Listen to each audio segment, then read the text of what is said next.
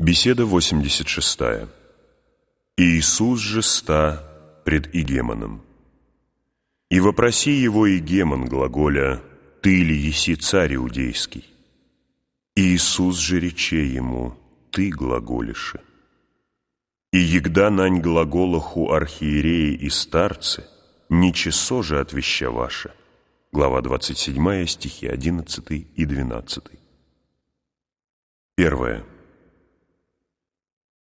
Видишь ли, как прежде всего подвергают исследованию то, что особенно всегда смущало иудеев. Так как они видели, что Пилат не обращает никакого внимания на дела закона, то обращаются к обвинению в гражданском преступлении. Так поступали они и с апостолами.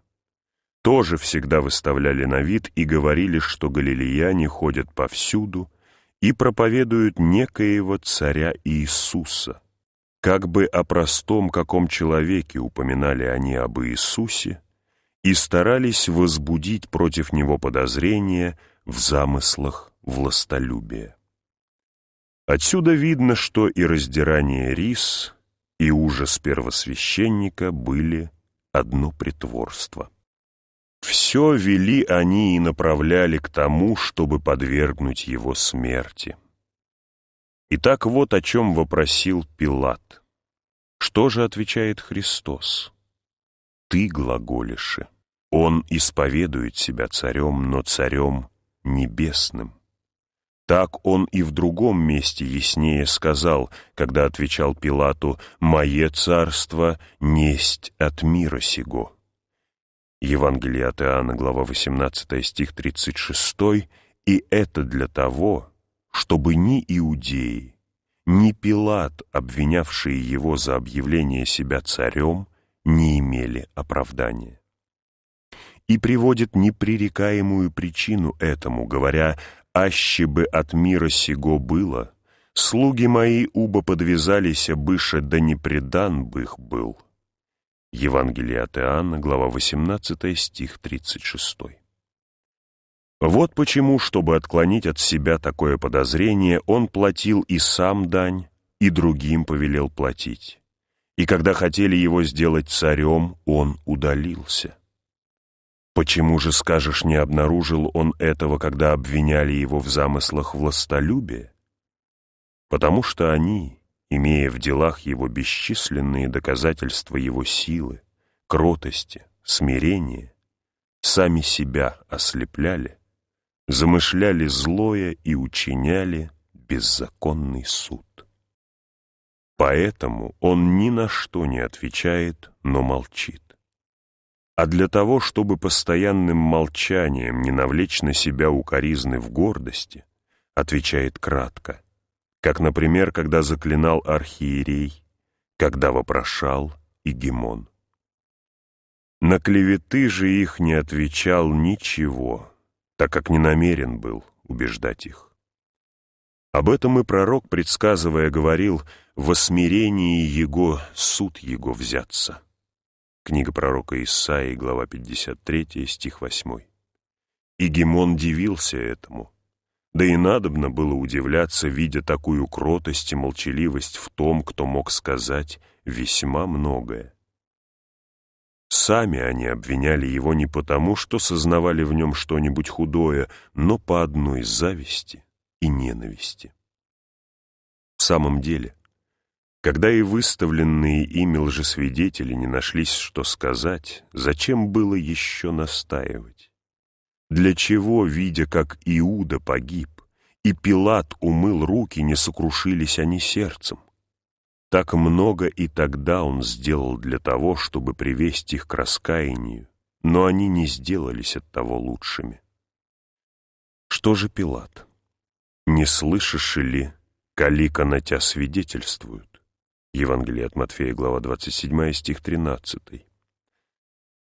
Пилат хотел освободить его если бы он стал защищать себя. А потому и сказал это. Когда же Иисус ничего не отвечал, он вымышляет другое средство. Какое же? У них был обычай отпускать одного из виновных. Этим-то средством Пилат и попытался освободить его. «Если вы не хотите, — сказал он, — отпустить его как невинного, то отпустите хотя как виновного, для праздника. Видишь ли извращение порядка? Обычай был такой, чтобы народ просил об осужденных, а егемон должен был отпускать. Теперь же происходит наоборот. Егемон просит об этом народ, и однако они не укращаются, а еще более свирепеют и подымают крик, неистовствуя от зависти.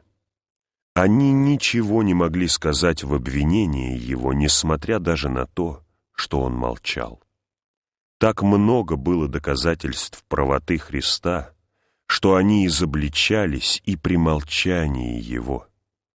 Молчавший побеждал безумолку говоривших и неистовствовавших.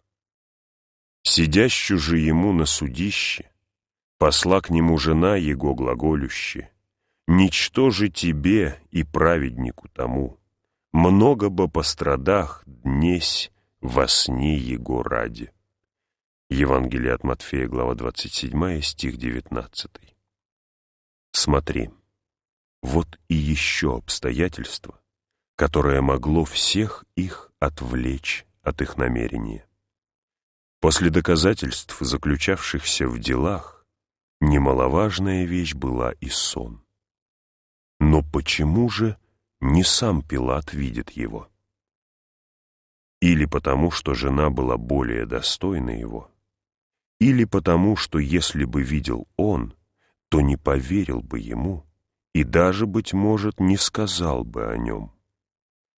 Поэтому так и устрояется, что видит этот сон жена, чтобы это сделалось известным для всех. И не просто видит она сон, но и страдает много, чтобы муж, хотя из сострадания к жене, помедлил совершать убийство. Тому же содействовало и самое время. Она видела в ту же ночь сон. Но для него, скажут, небезопасно было отпустить Иисуса, так как говорили, что он творит себя царем. Поэтому следовало потребовать и рассмотреть доказательства, улики, все признаки властолюбия, какие только могли быть, например, не набирал ли он войска, не собирал ли денег, не заготовил ли оружие или не замышлял ли что-нибудь подобное. Но Пилат просто склоняется на их сторону, а потому Христос не оставляет безвинным и его. «Предав имя тебе, — говорит, — болей грех имать». Евангелие от Иоанна, глава 19, стих 11. Итак, слабость была причиной того, что он уступил и, бив бичами, предал. Он не имел мужества, был слаб. Архиереи же были злобны и лукавы. После того, как он нашел некоторый предлог, именно закон о празднике, повелевающий отпускать осужденного, что предпринимают против этого они? Убедили народ, сказано. Да воравву и спросят. Евангелие от Матфея, глава 27, стих 20. Второе. Видишь ли, с какой предусмотрительностью заботится Он о том, чтобы избавить их от греха. И с какой тщательностью стараются они не оставить для себя и тени к своему оправданию. Что надлежало делать? Уличенного ли отпустить преступника или сомнительного? Если позволено было отпускать одного из уличенных преступников, то тем более сомнительного. И, конечно, Иисус не казался для них худшим явных человека-убийц. Евангелист не просто сказал «имели разбойника», но разбойника известного, знаменитого по своим злодеяниям, совершившего бесчисленные убийства.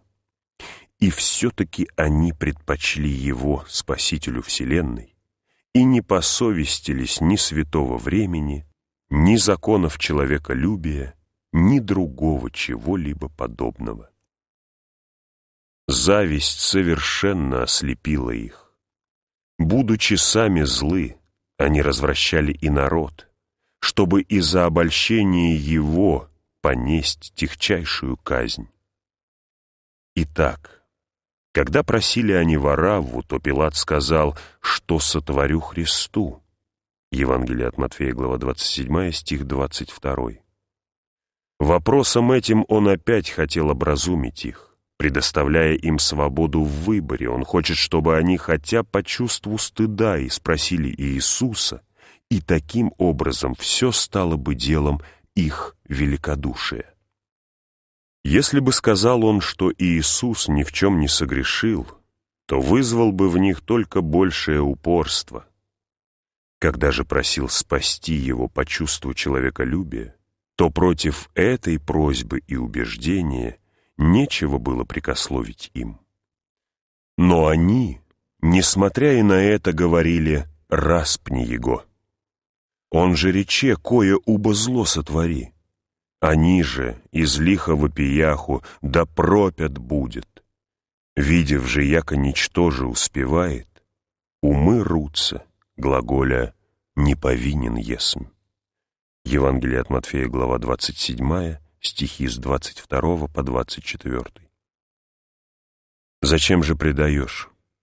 Почему не исхитил его, как Павла, сотник? И этот знал также, что он угодил бы иудеям. И из-за Павла было возмущение и смятение, и однако он мужественно стал против всего. Но Пилат действует весьма малодушно, слабо. Все провинились. Ни Пилат не восстал против черни, ни чернь против иудеев, и никому из них нет ниоткуда оправдания. Они из лихого пияху, то есть еще более кричали «да пропят будет». Хотели не только убить, но и убить как за худое. И когда судья противился, они только упорствовали, крича одно и то же. Видишь ли, сколько сделал Христос для того, чтобы приобрести их? Как Иуду часто отклонял он от его намерения, так удерживал и этих, и во все время благовествования своего, и во время самого суда. В самом деле, когда они видели, что Игемон, судья, умывает руки и говорит «не повинен есмь от крови сего», то и слова, и дела – убеждали их к раскаянию. Равно как и тогда, когда Иуда удавился, и сам Пилат увещевал их взять на казнь другого вместо Иисуса, когда обвинявший и предавший его осуждает сам себя, и тот, который должен произносить решение, снимает с себя ответственность, и видение является в ту же ночь, и Пилат просит у них его как осужденного, то как? Могут они оправдаться. Если они не хотели объявить его невинным, то не надлежало, по крайней мере, предпочесть ему разбойника отъявленного и весьма известного. Что же они, когда увидели, что судья умывает руки и говорит «не повинен есмь», кричали «кровь его на нас и на чадях наших». Евангелие от Матфея, глава 27, стих 25. И тогда уже, как они сами произнесли на себя определение, Он дозволил им все. Смотри же, сколь велико и здесь их безумие. Такова ярость, такова злая страсть. Она не позволяет видеть то, что должно видеть. Пусть так, что вы самих себя прокляли для чего навлекаете проклятие и на детей? Впрочем, человеколюбивый Господь, хотя они и неистовствовали так безумно против себя и детей, не подтвердил согласием этого приговора не только по отношению к детям, но и по отношению к ним самим. Но даже и из них самих принял покаявшихся и удостоил бесчисленных благ. И Павел был из числа их и многие тысячи уверовавших в Иерусалиме. «Видишь ли, бо, братья, — говорил Иаков, — калика тем есть иудей веровавших». Деяния апостолов, глава 21, стих 20, были также из этих.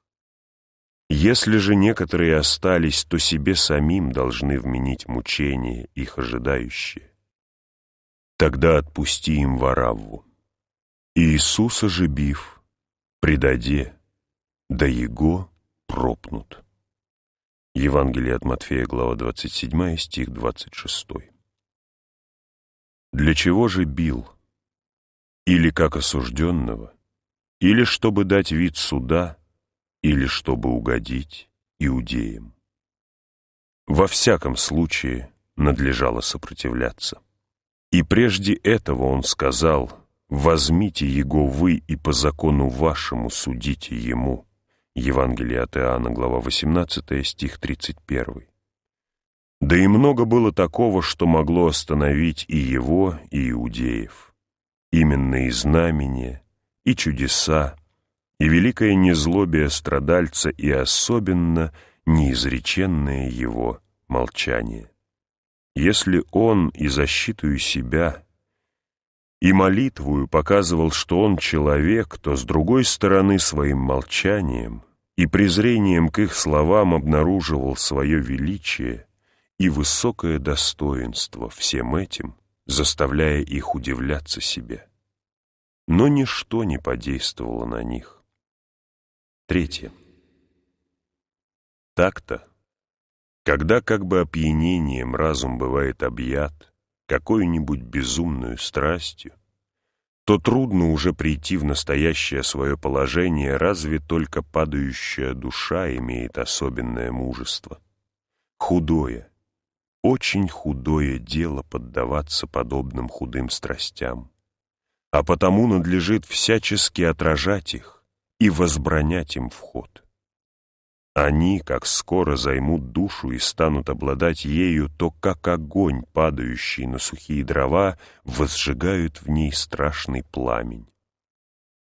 Поэтому молю вас, употребляйте все, чтобы заградить им вход, и не давайте места какому бы то ни было злу, успокаивая себя душепагубным рассуждением, что за важность в том или в этом. Отсюда-то рождаются бесчисленные роды зол.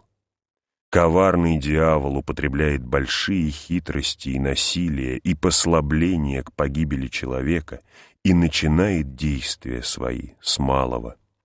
Смотри, хотел он довести Саула до того, чтобы тот пошел слушать болтовню чрева волшебницы. Если бы он вначале стал внушать это Саулу, то Саул, конечно, не послушал бы его как в самом деле послушал бы тот, кто сам преследовал волхование. Поэтому он неприметно и мало-помалу приводит его к тому, и, во-первых, когда прислушал Саул Самуила, и в отсутствие его дерзнул принесть все сожжения, то, будучи обвиняем, говорит, что большая нужда настояла со стороны врагов. И в то время, как должен был рыдать, оставался спокоен, как бы ничего не сделал. Потом Бог повелел истребить амаликитян, но он и этого не исполнил. Далее следовали злые умышления его против Давида, и таким образом, неприметно и мало-помалу поскользаясь, он не мог уже остановиться, пока, наконец, не вверг себя в самую бездну погибели. Так случилось и с Каином. Дьявол не тотчас увлек его на убийство брата, так как он и не успел бы убедить его. Но, во-первых, склоняет его принести в жертву худшее, внушая ему, что в этом нет греха. Во-вторых, возжег в нем ненависть и зависть, уверяя, что ничего и в этом нет. В-третьих, убедил умертвить брата и запираться пред Богом в гнусном смертоубийстве и не прежде отступил от него, пока не довел до крайнего зла. Итак, надобно отражать зло в начале. Даже и в том случае, если бы первые преступления и не влекли за собой дальнейших, и тогда нельзя пренебрегать ими. Между тем они доходят и до большего, когда душа вознеродит. Поэтому нужно употреблять все средства, чтобы истреблять пороки в самом начале, Не смотри на то, что грех сам по себе мал, но помни, что он бывает корнем великого зла, когда вознеродят о нем. Сказать ли тебе достойное удивление?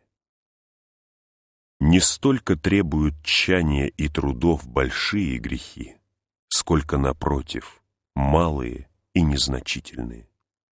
Отвращаться первых заставляет самое свойство греха, а малые, потому самому, что малы, располагают на скленности и не позволяют мужественно восстать на истребление их.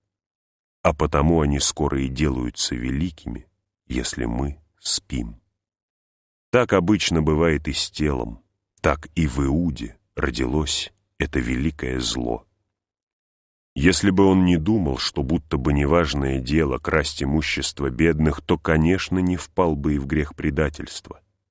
Также, если бы иудеям не представлялось маловажным то, что они пленены тщеславием, то, конечно, не дошли бы до христоубийства. Да и всякое зло обыкновенно совершается так. Ведь никто не впадает в нечестие скоро и вдруг. В душе нашей, несомненно, есть некоторый прирожденный стыд греха и уважение к добру, и невозможно ей вдруг дойти до такого бесстыдства, чтобы отринуть все за раз. Напротив, она не сходит до крайней погибели неприметно, мало-помалу, когда вознеродит. Так вошло в мир идолопоклонство — когда стали выше меры чтить людей как живых, так и умерших. Также стали поклоняться изваянным. Так, наконец, усилилось блудодейство и другие пороки. Смотри также. Один безвременно посмеялся, другой укорил. Иной отринул страх, говоря, «Это ничего, что за важность посмеяться? Что от этого может произойти?» От этого происходят пустые разговоры, отсюда срамословие, а потом позорные поступки. Еще иной, когда его упрекают, что он поносит ближнего, насмехается и злословит, презирает это и говорит, что злословить другого ничего еще не значит. На самом же деле отсюда рождается безмерная ненависть, непримиримая вражда, бесконечные укоризны, а от укоризн — драки, а от драк — часто и убийства. Четвертое. Итак, этот лукавый демон от малого доводит до большого, а от большого доводит до отчаяния, изобретая таким образом другой способ, не менее пагубный подлинно не столько губит грех, сколько отчаяние. Согрешивший, если будет бодрствовать, покаянием скоро исправляет свой проступок.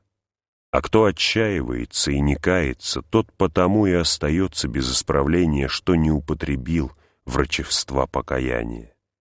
Есть еще и третья, самая опасная хитрость у дьявола. Именно когда он облекает грех личиною благочестия. Но где же, скажешь, можно видеть, чтобы дьявол настолько усиливался, чтобы и до этого доходил в своих обманах?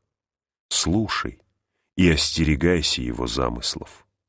Христос повелел через Павла, первое послание к Коринфянам, глава 7, чтобы жена не отлучалась мужа, и чтобы не лишали друг друга, разве по согласию. Но некоторые по любви к воздержанию, оставив мужей своих, как будто бы в самом деле это было дело благочестия, ввергли их в прелюбодеяние. Итак, подумай, какое это несчастье, что понесшие столько труда обвиняются как будто учинившие великое зло, и как сами подвергаются крайнему наказанию, так и сожительствовавших с ними – повергают в бездну погибели. Еще. Иные, воздерживаясь по заповеди поста от пищи, мало-помалу дошли до того, что гнушаются пищей, а это приносит им величайшее наказание. тоже бывает, когда свои предвзятые мнения оправдывают вопреки смыслу Писания. Некоторые из коринфян думали, что вкушать все без различия, даже и запрещенное, означает совершенство. Первое послание к коринфянам, глава 8. Но это было делом не совершенства, а крайнего заблуждения. Поэтому и Павел сильно запрещает им это и говорит, что они подлежат за это крайнему наказанию. Другие еще думают, что убирать волосы на голове означает благочестие. Напротив, и это запрещено, и есть дело очень постыдное. Иным опять кажется, что они получат великую пользу, если безмерно станут скорбеть о грехах. Но и это относится к умыслам дьявольским, как показал на себе Иуда, который от того и удавился. Поэтому и Павел боялся, как бы не потерпел чего подобного соблудивший, и увещевал Коринфян скорее простить его. «Да никак, а многою скорбию пожертв будет таковый». Второе послание Коринфянам, глава 2, стих 7. Потому, показывая, что это есть одна из сетей дьявола, говорит, «Да не обидими будем от сатаны, не неразумеваем бо умышлений его». Второе послание Коринфянам, глава 2, стих 11 то есть что он приступает к нам с великою хитростью. В самом деле, если бы он ратовал явно, то легко и удобно было бы побеждать его. Но нам легко будет и ныне победить его, если будем бодрствовать. Против всех этих коварств Бог снабдил нас оружием. Слушай, что говорит Он, желая убедить нас, чтобы мы не пренебрегали ничем малым. И же речет брату своему уроде повинен есть гиенне. Евангелие от Матфея, глава 5, стих 22. И тот, кто смотрит похотливыми глазами, совершенный есть прелюбодей. Также и смеющихся называет несчастными. И везде истребляет начатки и семена зла и говорит, что и за праздное слово отдадим ответ. Вот почему и Иов очищал даже и помышления детей своих. Книга Иова, глава 1, стих 5. А о том, что не надобно отчаиваться, так говорит Писание. Еда падаей не восстает? Или отвращаяйся не обратиться? Книга пророка Иеремии, глава 8, стих 4. И еще, хотением не хочу смерти грешника, но еже обратитесь ему, и живу быте. Книга пророка Иезекииля, глава 18, стих 23. Также «Днесь аще глаз его услышите» Псалом 94. И много других подобных слов и примеров находится в Писании. А о том, чтобы нам не погибнуть под видом благочестия, послушай, что говорит Павел. «Да никак о многую скорбию пожертв будет таковый, Второе послание Коринфянам, глава 2, стих 7. «Зная же это, оградим себя от всех путей гибельных для беззаботливых, знанием Писания. Не говори, что в том, если я пристально посмотрю на красивую женщину. Если ты в сердце учинишь прелюбодеяние, то скоро осмелишься сделать это и плотью. Не говори, что в том, если я пройду мимо этого нищего. Если ты пройдешь мимо него, то пройдешь и мимо другого, а после этого и третьего. И опять не говори, что и в том, если пожелаю собственности ближнего, это-то именно и погубило Ахава, хотя он и цену давал, но брал против желания владевшего. Третья книга царств, глава 21. Покупающий не должен делать насилие, а должен убеждать. Если же тот, кто давал надлежащую цену, так осужден был за то только, что взял против согласия другого, то какого наказания достоин тот, кто не только делает это, но похищает насильственно и притом живя под благодатью? Итак, чтобы не понести нам наказание, Будем блюсти себя чистыми от всякого насилия и хищничества. Будем оберегать себя не только от грехов, но и от их начатков, и со всем тщанием возревнуем о добродетели. Таким образом мы насладимся и вечных благ, благодатью и человеколюбием Господа нашего Иисуса Христа, которому слава во веки веков. Аминь.